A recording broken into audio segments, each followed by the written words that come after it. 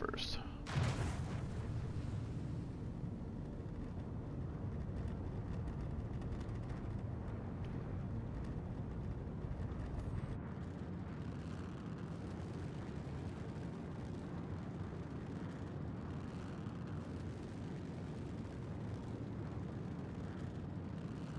Oh man, those clouds look so good.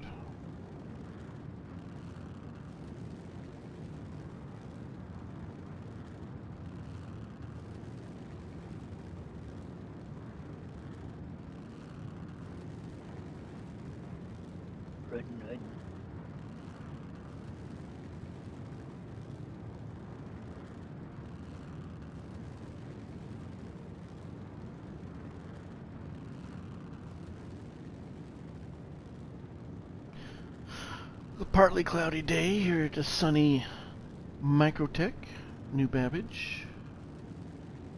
Looks like there's very little traffic on the road there. This is Chopper 9 coming in for a landing.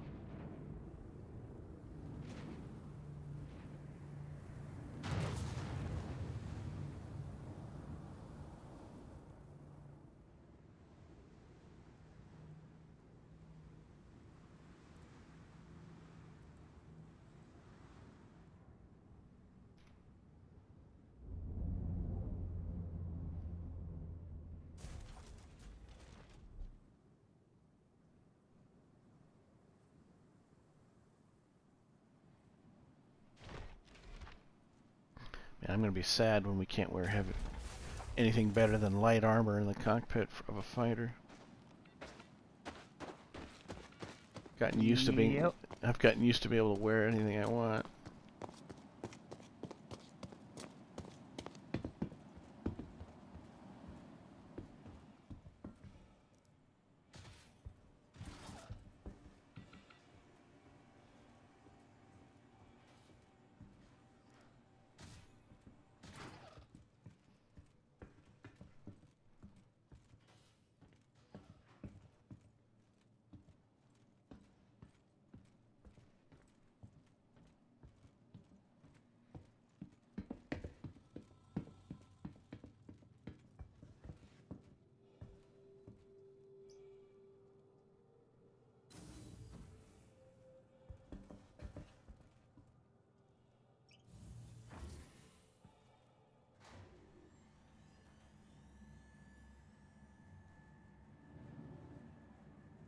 I like this uh,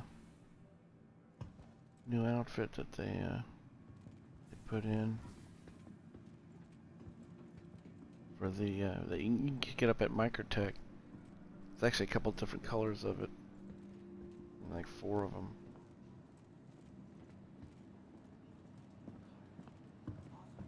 But the, I think the white one you can pick up at Microtech. I think a chess piece of one of the other ones too is also at Microtech. But you can buy this at the uh, Shubin Mining Center here at Microtech, or you can get it up at Tressler.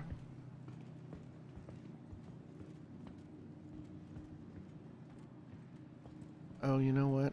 While I'm hearing comments, I should probably buy a new scope for my gun. Ooh, hey, these guys run too fast.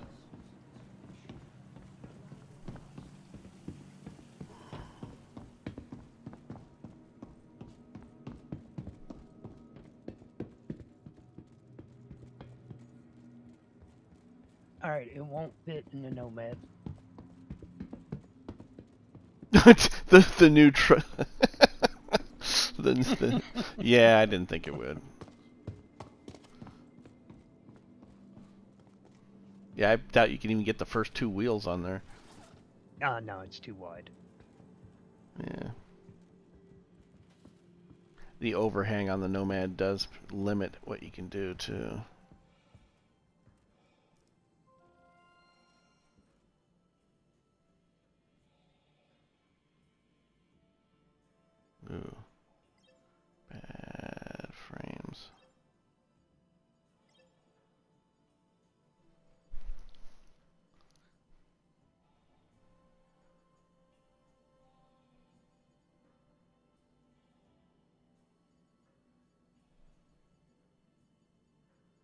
Um, okay, so that's why I don't have a lot of those. Because they don't sell a lot of those here.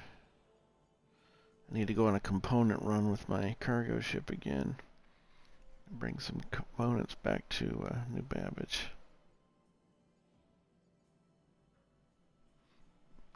That's why. Okay, well, I guess for the time being, I will put a size 3 on there.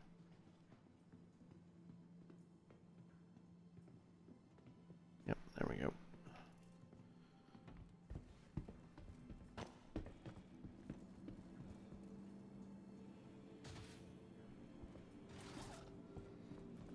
Mm. Not getting good frames today here at New Babbage.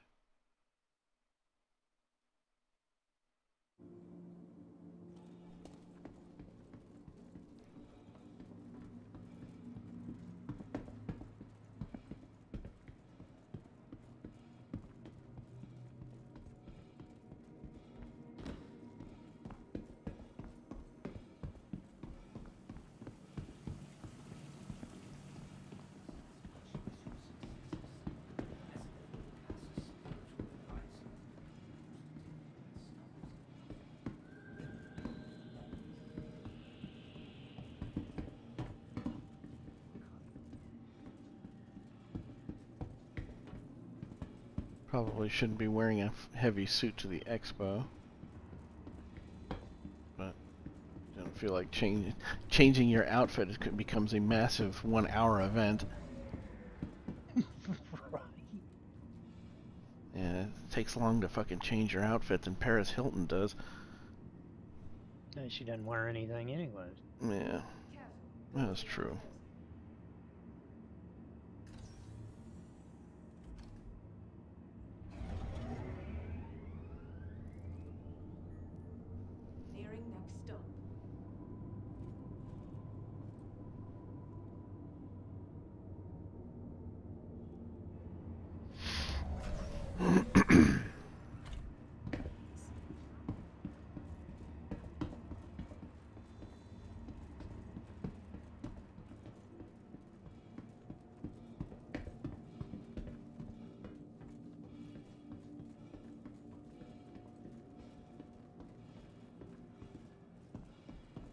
Don't think RSI really has anything new to show off except for maybe the Scorpius. Yeah, it's just a hologram. And yeah, and it'll just be a hologram. See if the hologram at the front is working today. It wasn't working the other day.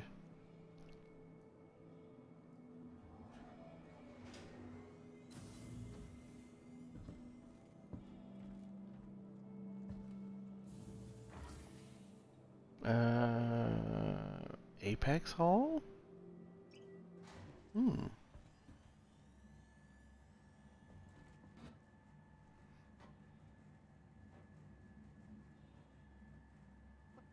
Zenith Hall was, oh, maybe they're going to have a level for each manufacturer so you can go back and, wow, that's going to be a, oof, that's going to be a frame rate load.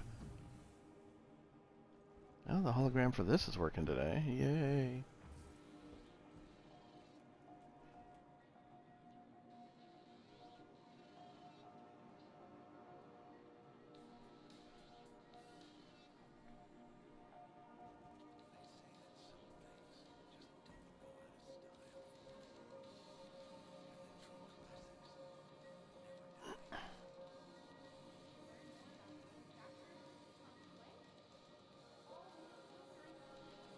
I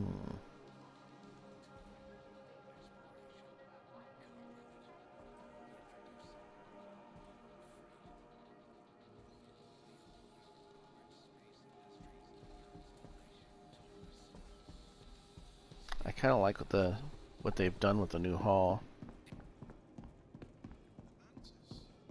The They did bug out, cause a bug though. When you zoom in on it, it causes the effect to stop. But I was kind of figuring they would move it again this year to Lorville or 18. well, I think they would have had it at Orison if it wasn't for such a the the frame rate loss. What what makes this place ideal here, um, is that they can put it deep within the planet. Put it, you know, get some distance between you and all the assets up above. So they kind of have a unique advantage for frame rate here. To so they can put as many ships as they kind of want, kind of. But if they start putting multiple levels, ugh, I don't know how that's going to work out. Oh, I didn't check to see if there's any audio files for this. Let me check.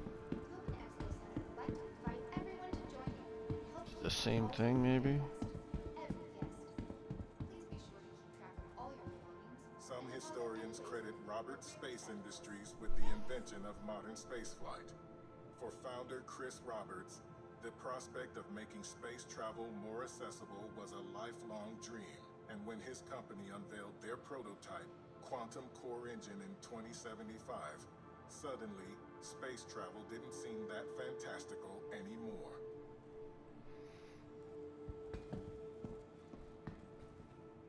Some historians credit Roberts Space Industries Oh, with that's- the invention of modern spaceflight. Same one.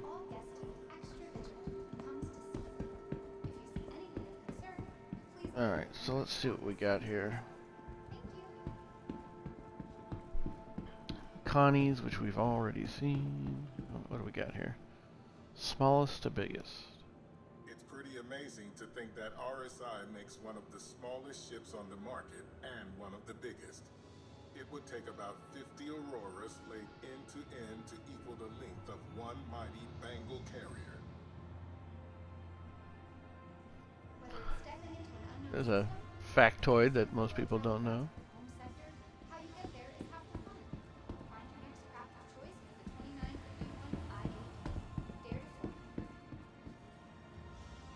Since its introduction in 2712, Oh. the RSI Constellation Sorry. Has been So busy looking at everything else, I didn't see your invite.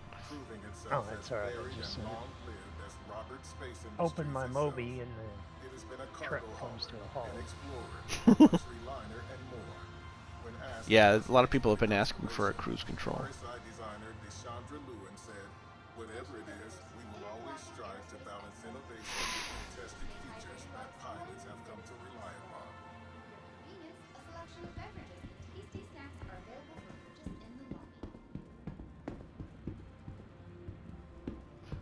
so let's go downstairs and see maybe some stuff we haven't seen.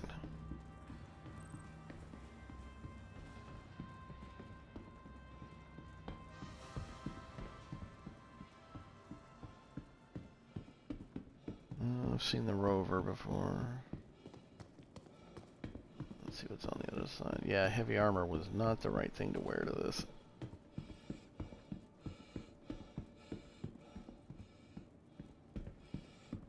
Not even anything over there.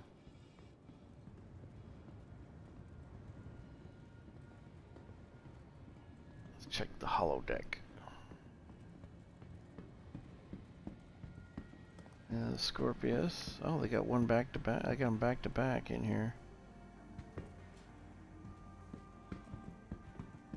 The future of X-wing fighters. Yeah, that thing looks almost done, dude. At least the exterior model. Very detailed.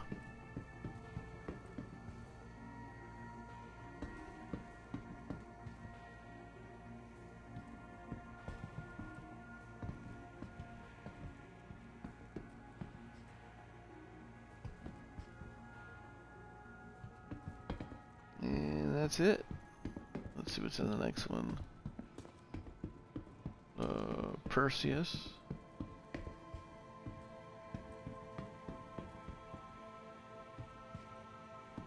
Ah, they added a dock. They added a docking collar. Or no, that's a thruster. Looks like a docking collar.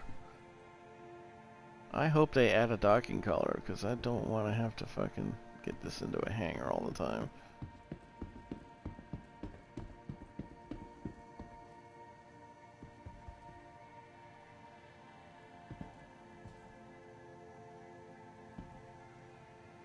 They've been tight-lipped. They've said that this doesn't isn't anything, but come on, look at that. That's some kind of con connection system or something. Yeah, I don't know what that's for. They said it's just an aesthetic design thing. It's like no, there's there's you can clearly see there's mechanisms to it and it does stuff.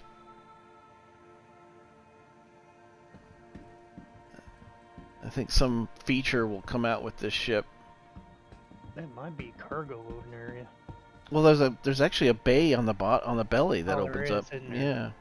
So yeah, it's it's got to be some ship to ship feature, or maybe a a drone system that comes out. I don't know. So Link them together, and make a big battleship. yeah, and the Polaris. Yeah, that one definitely doesn't look done. So they still haven't really done much with this one. Don't know why they're coming out with a Perseus when they haven't finished putting out stuff like this.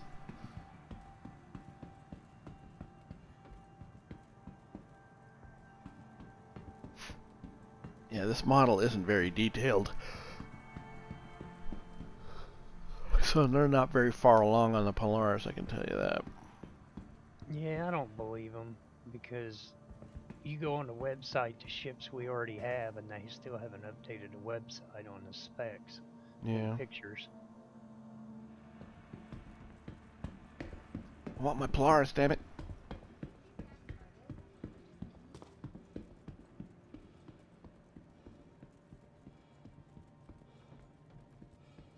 Alright, well, that was pretty much the RSI show. I think we got Auroras in one of the wings, but...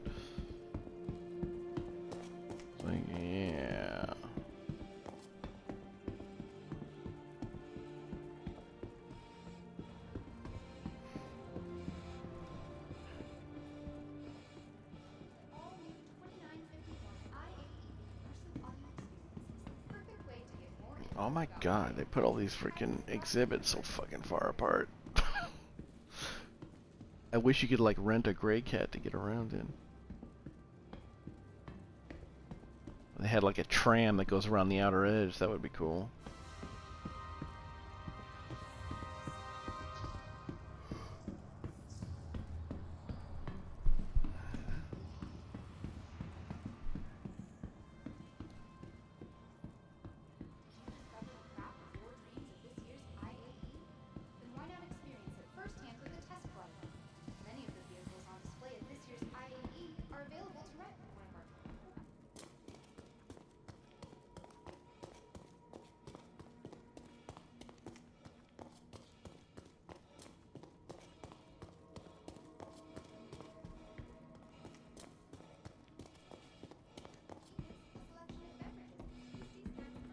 Guy's gonna have a heart attack just going to the expo here.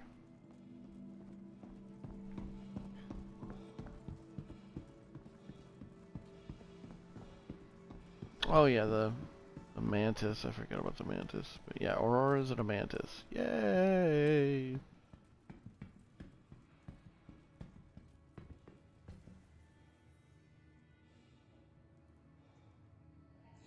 So there seems to be a bug that the Aurora has like a really good, really, really good stealth cross section. So if you put stealth equipment on it, this thing's fucking a beast. You almost can't get a missile lock on this thing. Really? Yeah. I don't know if they fixed it, but yeah, it's uh it can be a it can be a bit of a menace because you can't lock any missiles and it keeps popping in and out of existence, even at close range. Yeah, it makes the eclipse look like the sun.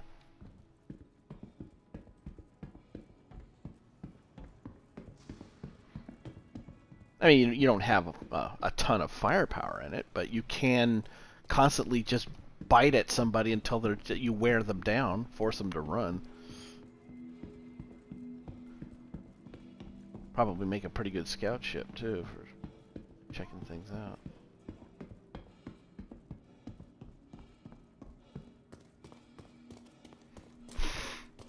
Alright, and that's pretty much the RSI Expo.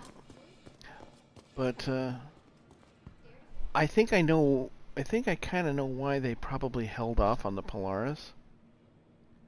Because if they're going to do a big reveal for Squadron 42, it's going to be all about RSI. My guess is they'll they'll release it to everybody um, for an event for something like that. You know, the whole to pitch the whole RSI it's Chris Roberts thing. That could be why they they bumped it and pushed the new before it instead of be, behind it. So.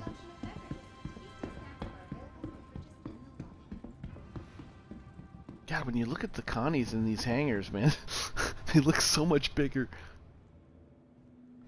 When they're on the pad, they don't seem very big, but.